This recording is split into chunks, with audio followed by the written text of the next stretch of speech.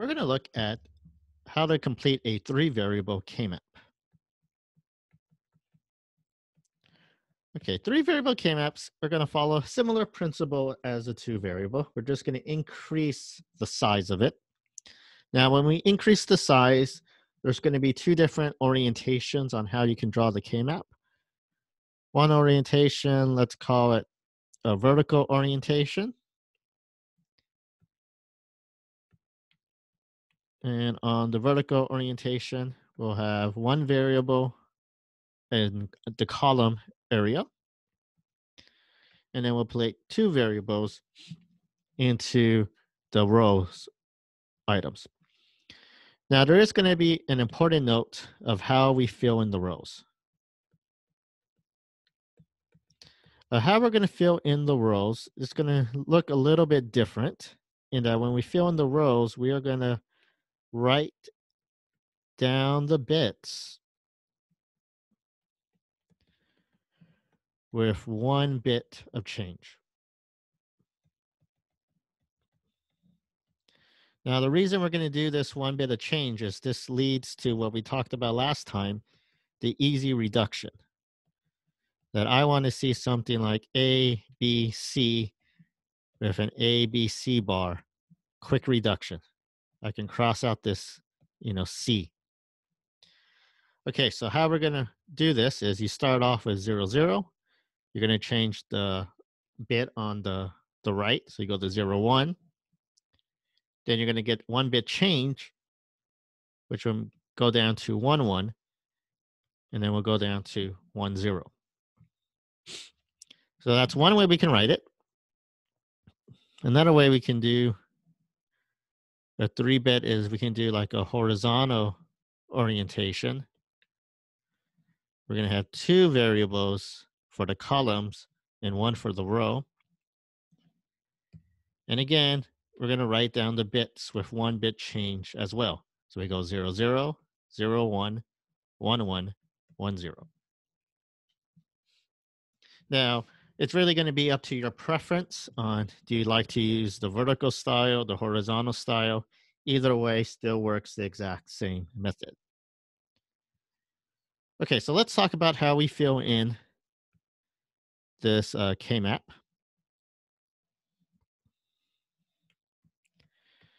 And when we fill in the K-map, we are looking at each value inside this box being a minterm or a max term. So one box holds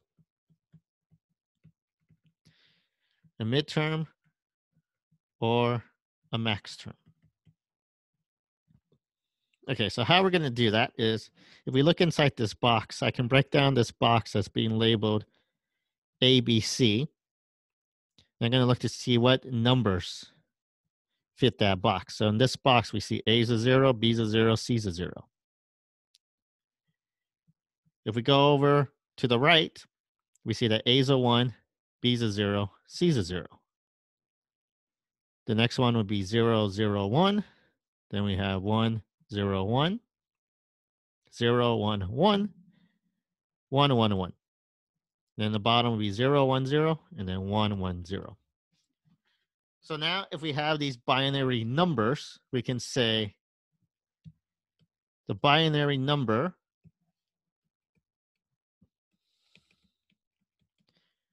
is going to match a minterm or a max term. So let me just do it on the side over here.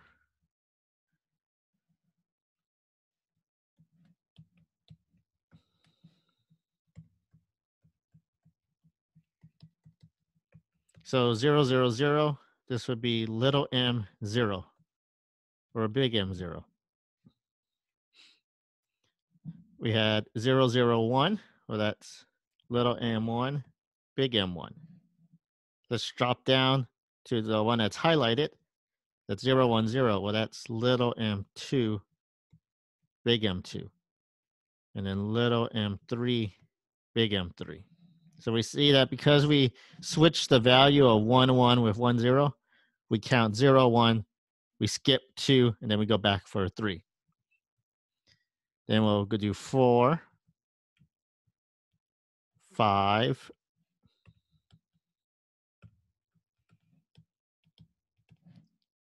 six,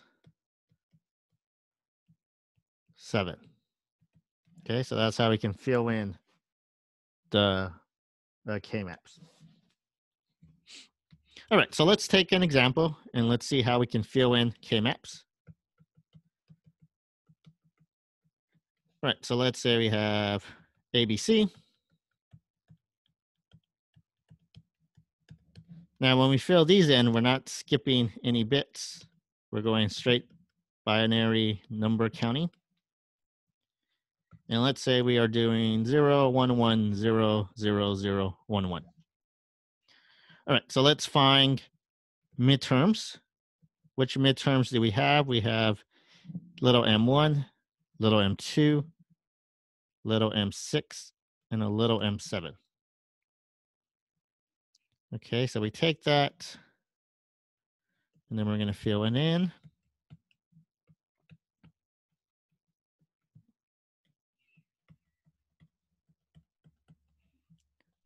All right, so let's take these values.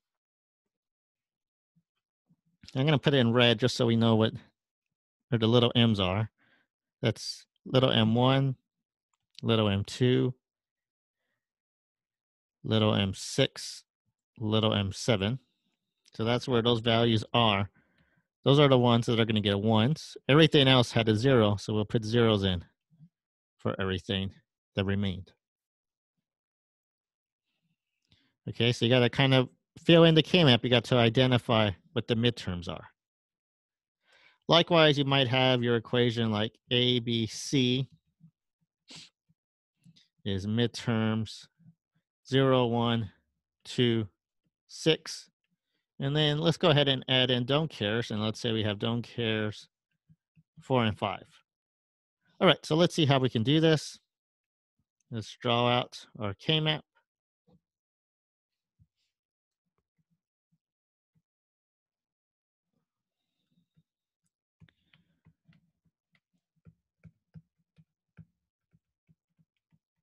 Now, when we draw out our K-map, let's identify our spots, little m0, little m1, little m2, little m6. Okay, those are going to be our ones. Then we have 4 and 5 as don't cares. A little m4, little m5, we have those as our don't cares. Now what remains are zeros. Okay, so we did the vertical. Let's see what happens if we want to do the horizontal method. If we're looking at the horizontal method,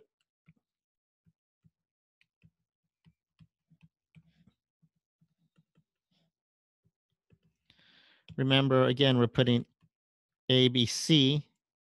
so if we do ABC, that's 0, 0, 0. 0, 1, 0, 1, 1, 0, 1, 0, 0, 0, 0, 1, 0, 1, 1, 1, 1, 1, 1, 0, 1. Well, what does that come out to be?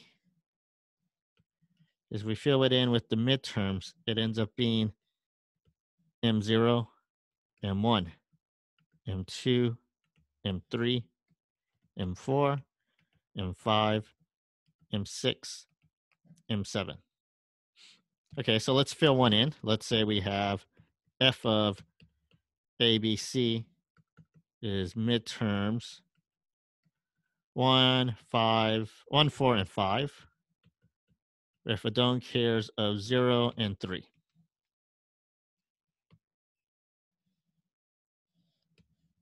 Okay, so let's draw out that K-map. Okay, so let's just scroll up a little bit. We need a M0 for don't care. We see zero is the top box. Let's drop that in. We have a don't care at three. Let's drop that in. See, we're just trying to match with what's up on top. right? I have a one, I have a four, I have a five. Everything else would come out to be zeros. Okay, so we can see how we can fill it in. Now what we've got to look at is how do I make reductions? Uh, we know how to fill it in. How to make reductions is the next item we need to look at.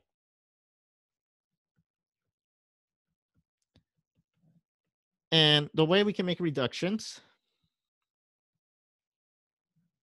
I'm going to draw a couple different diagrams out. I'm going to show you a couple of different cases. It's going to be similar to the two variable in that we're looking for items that are adjacent.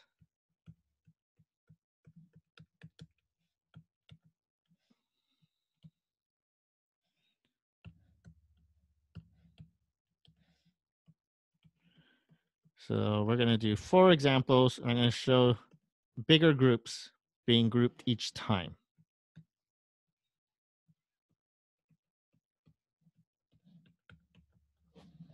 Okay, so let's start off with something that is a single one by itself. So we can do a group of one. A group of one, this one here has nothing adjacent to it that is a one. I group that. We're going to look at what every variable is. That's A, B, C. We're doing minterm, so it's all A bar, B bar, C bar. Maybe we have something that looks like this. Well, that will be, I can do a group of two. Group of two these two are adjacent. We only can circle or box up items that are adjacent to each other. So at this group of two, we're going to see what changes. We look at A. One box is A of zero and one box is A of one. A change, A is not part of our answer. So then we're going to look at B and C, that remain the same. So that's a B bar because B is a zero, and then C because C is a one. The next item we can do is we can do what is a group of four. We have to have four items that are all adjacent to each other. So let me start as I circle it in. The top one is adjacent to the to the one below it which is adjacent to the one below it, adjacent to the one below it. That is a group of four that we can do. Now we're going to look to see what bits state the same. A state the same for all four of those. So we have an A. B and C, we use every single item in every column. They all change. So there is no other variable. One thing I want you to note is look at the sizes of these items. A group of one had three variables. We increase it to a group of two. We drop the variable. We increase to a group of four. It dropped to another variable. Now, in our setups,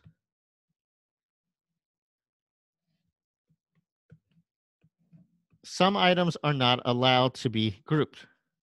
This is a common mistake that I see on a number of students.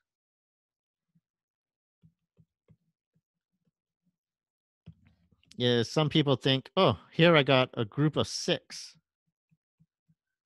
Well, I'm sorry to tell you, this is not allowed. Our possible groupings for three variables is a group of one, a group of two, or a group of four. You cannot have a group of six, cannot have a group of three, cannot have a group of five. It has to be one of these items. Okay, so with that, sometimes we're going to have, maybe we do have three items that are next to each other. Well, what do we do with that? You know, let's say we have one, one, and a one. Well, I can't group three together, but what I'm going to do is I'm going to have two terms. I'm going to say this one right here is adjacent to the one next to it. That's one term. So I can say this is, let's call this output F. I would say F is A change, B and C didn't. So that's a B bar, C bar.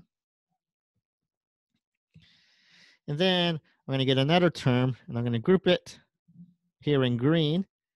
And that covers that A state the same. So that's an A bar. C change, it went from a zero to a one. So that's just a B bar. You know, here, let's do another example.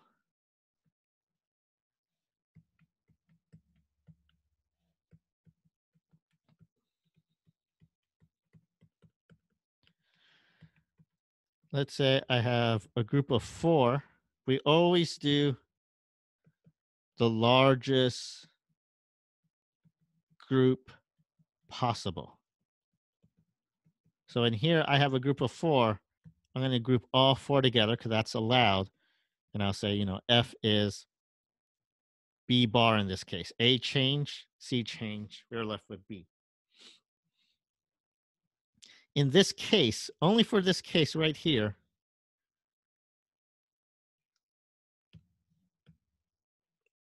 you know, we, even though you can group groups of one and two together, we would not do this. So this we avoid because it has two terms.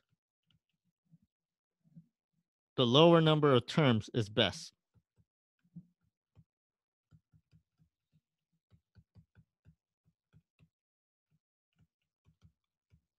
Okay, so we're always going to try to do the largest grouping.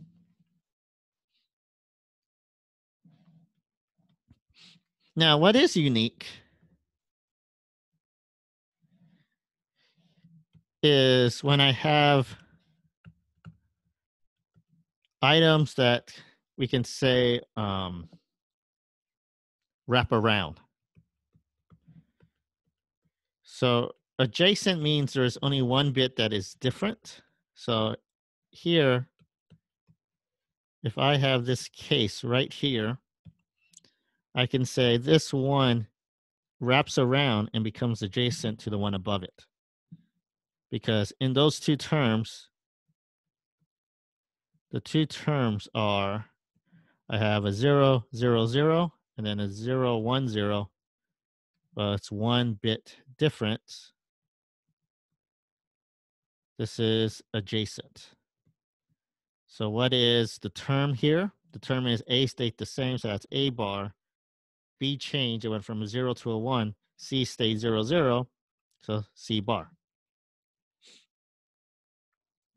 Likewise, you can have it, you can have a group of four that wraps around.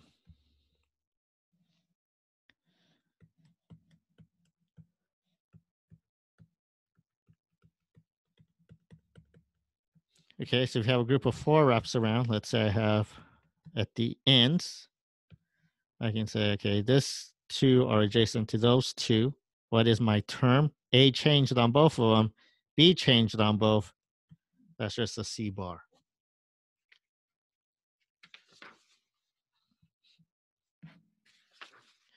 Now, what is going to happen is as we start doing these three variables, what happens with the don't cares? So don't cares become a little unique in that you do not need to group them. You group a don't care only if it helps, re- makes a larger group.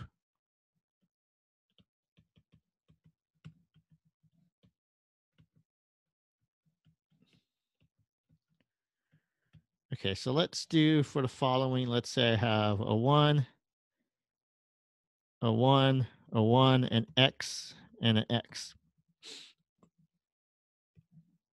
Well, in this case, this green don't care helps us. It helps us in that, you know what? That allows me to have a group of four. Well, that group of four is A change, C change, B did not change. And then this purple one, if we leave it a zero, no additional group. If we make it a one, it adds a term. And remember, our key item is less terms, better. So in this case, we do not use it. It's there if it helps us. We don't always have to use the ter- the don't care. Other items you want to do is you always are going to look for the smallest number of terms. So let's say I have something like the following.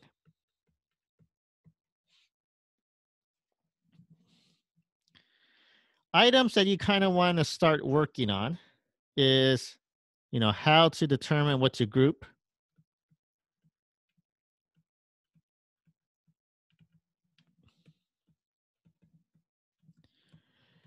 Grab one of them and make a note. So let's say here, this green item it has one possible pair. What pair does it have? It can connect to what's below it. Okay, this purple one here, it has two possible pairs or groups. It could be more than just a single term. It can group to what's above it. It can group to what's to the right. This one in red, two pairs. Can group to the left. It can wrap around and group to the top.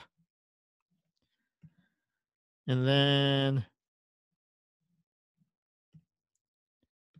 let me add another color in here. We have this orange item.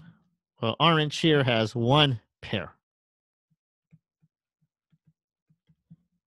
it can group and wrap around. So we want to select.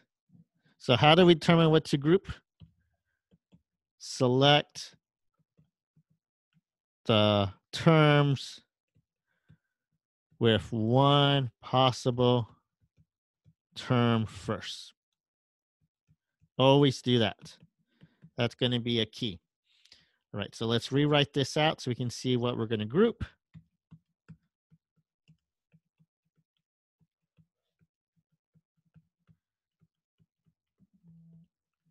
So what are we going to group?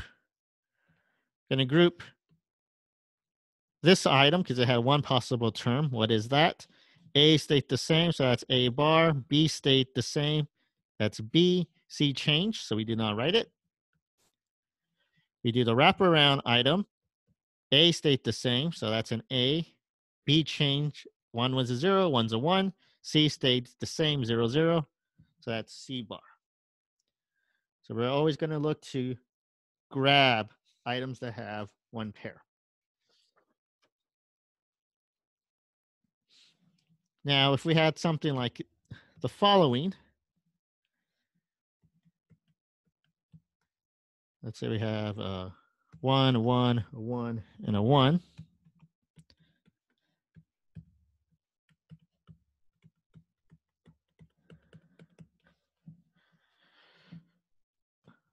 Okay, we identify ID terms with one pair. This item has one pair. This item has one pair. The other two have two pairs. You know, this one right here can connect two different directions. This one can connect in two different directions. Okay, so that has two pairs. So we're not looking at those first. So what we're going to do is you group items that have one pair. And you group this one. What is that? That's A bar B. Then I'm going to group this one. It is uh, A B. The first one was, sorry, is A A bar C. Okay.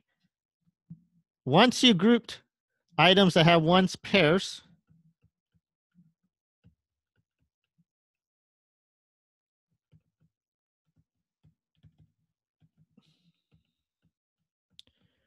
you check to see if any ones are left ungrouped.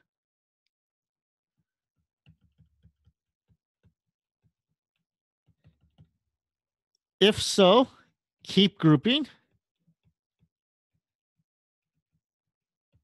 Else stop. So in this case, what are we going to do here? We're going to stop. Everything has been grouped. There's not an item that does not have a single one left.